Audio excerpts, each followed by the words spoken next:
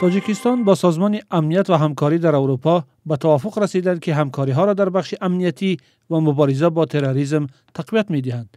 امروز در ملاقات امام علی رحمان رئیس جمهوری تاجیکستان با رهبر دوری این سازمان یان بارگ وزیر خارجی ملتا به حل مشکلات امنیتی مبارزه با جنایت های کیبری و پیشگیری از سوء استفاده اینترنت به مقصد تبلیغ و تشویق تندگرایی و افراطگرایی تاکید شده است.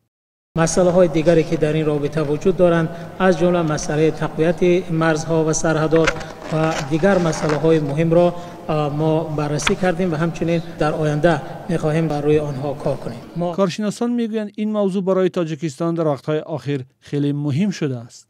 از هم اگر از یک جانب واقعا هم خودی مسئله وابستگی می‌گیرد به اینکه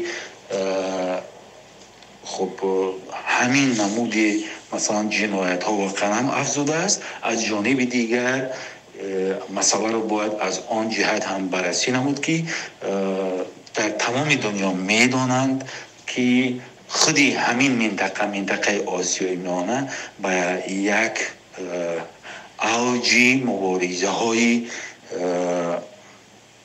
گیوپولیتیکی قرار گرفته است که در زمینه آنها می‌توانند مثلا کشورهای گوناگون با حیله ها و نیرنگ های گوناگون با راه های گوناگون با وسیله های گوناگون این آن کشور را مثلا هدف قرار بدهند و با هدف های مشخص از شهروندان کشور استفاده کنند. یان بارگ پس از ملاقات با رئیس جمهوری تاجیکستان همچنین با وزیر کارهای خارجی تاجیکستان سراجدین مهردین دیدار داشت. در این ملاقات نیز مسائل همکاری سازمان با تاجیکستان در های مختلف بررسی شد.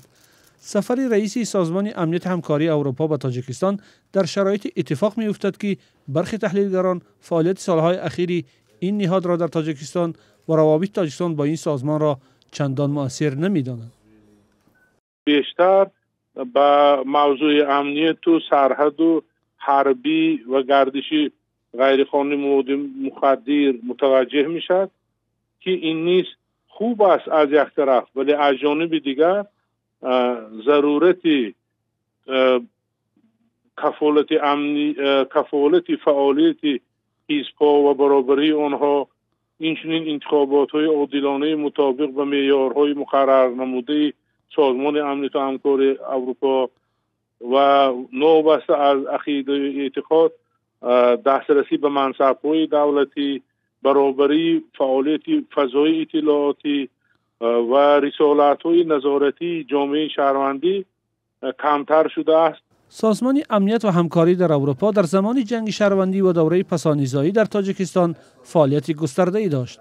روابط تاجیکستان با این سازمان سال 2016 در پی ره یافتن مخالفین سیاسی حکومت تاجیکستان به نشستی سازمان در ورشو به سردی گرایید. قهر مقامات آن زمان از آن بود که به شخصانی به گفته آنها تحت جستجو و متهم به تروریسم افرادگرایی منبر دادند.